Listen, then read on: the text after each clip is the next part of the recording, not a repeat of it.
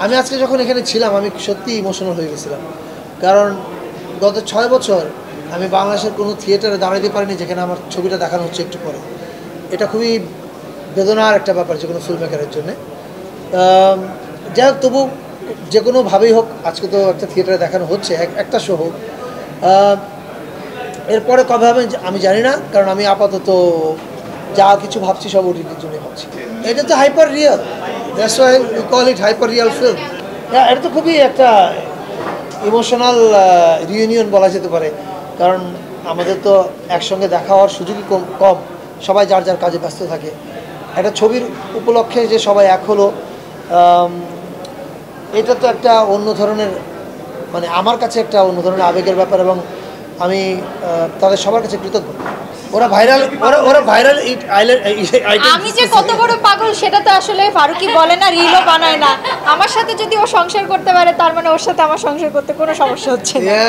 সবার কাছেই কৃতজ্ঞ যে তারা তাদের ব্যস্ত সময়ের মাঝখান দিয়ে সময় বের করে এসছে আমাদের সাথে সিনেমাটা দেখছে এবং আমাদেরকে সেই সাপোর্টটা দিচ্ছে। এটার চাইতে বড় ইস্যু আর কি হতে পারে? এবং এই সাপোর্টটার জন্যে আসলে এটা আমার কাছে মনে হয় যে it's one kind of inspiration এই আজকে আমার কাছে মনে হচ্ছে যে আমরা খুব শীঘ্রই আরেকটা সিনেমা তাড়াতাড়ি শুরু করতে হবে, তাড়াতাড়ি হলে আসতে হবে, আবার এই সব মানুষ সুন্দর সুন্দর মুখগুলোর সাথে আবার দেখা করতে হবে। সো ইটস ইন্সপিরেশন আমি মার্কিং টার্কিংয়ে বিশ্বাস করি না but he did very good খুবই ভালো করেছে।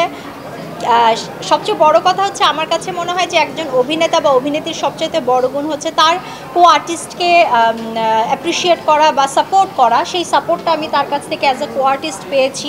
সেজন্যই হয়তো বা প্রোডাকশনটা ভালো হয়েছে বা যতটুকুন যদি সবাই ভালো বলে, তাহলে এই কারণও একটা হতে পারে যে, আমি সেই সাপোর্টটা পেয়েছি বলেই ভালো অ্যাক্টিং করতে পেরেছি। আমার কাছে আমার কাছে একদমই ডিফারেন্ট কিছু মনে হয়নি।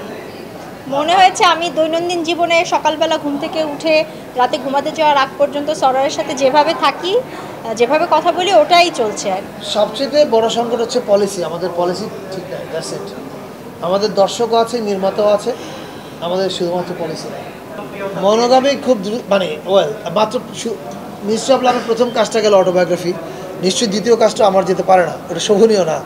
আরও অনেকগুলো কাজ তৈরি হচ্ছে। সেখান থেকে কিছু কাজ যাবে তারপরে কোনো একটা অবসরে নিশ্চয়ই যাবে মনে না এখন আজকে শুধুমাত্র something like an autobiography yeah আজকে শুধুমাত্র সামথিং